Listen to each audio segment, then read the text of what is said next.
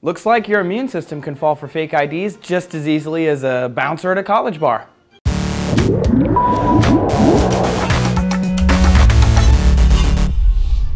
Thanks for tuning in to DNews today. I'm Trace. Your immune system is a fantastic thing.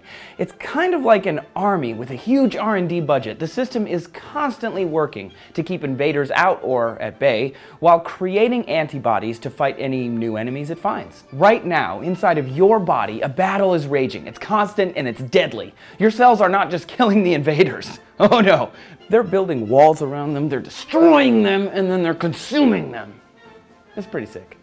The problem is, our immune system attacks anything that wasn't made by our own bodies, good or bad. So if, say, you had a nanoparticle injected in you to help deliver drugs or fight infection, your body would attack it the same as if it were invading bacteria. But medical researchers at the University of Pennsylvania have found a way for things that should not naturally be in our bodies to blend in like James Bond.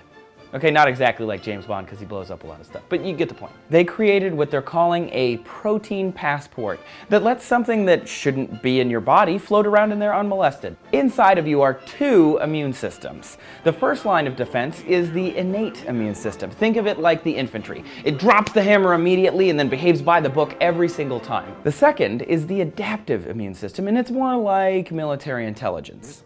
The system learns about the enemy, it devises a way to fight a specific infection, and and will remember how to defeat that infection forever. The protein passport tricks the first system into believing the nanoparticle is a friendly.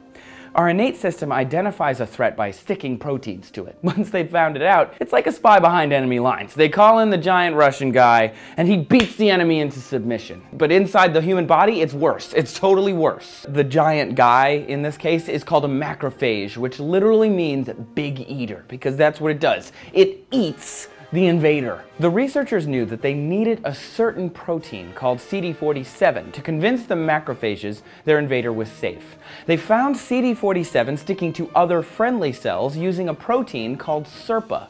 So by adding the SIRPA to their own nanoparticles, they got the CD47 to stick to it, and the new protein disguise told those macrophages that these weren't the nanoparticles they were looking for. Right now, your body doesn't know that a pin in your knee is helping you because it's not covered in CD47. So instead of letting it alone, your immune system throws millions of cells against its cold walls, trying to rid it of the disease, potentially causing chronic inflammation and pain. This new discovery could be a huge deal for drug delivery systems, chronic pain patients, and anyone with an artificial implant of any kind. Who knew that our immune system was such a beast? I think it might be my favorite function of the human body that I didn't even think about. Hmm. What's yours? Share it with all of us, and thanks a lot for checking us out here on DNews. Come back every day for two videos, seven days a week. We'll be seeing you.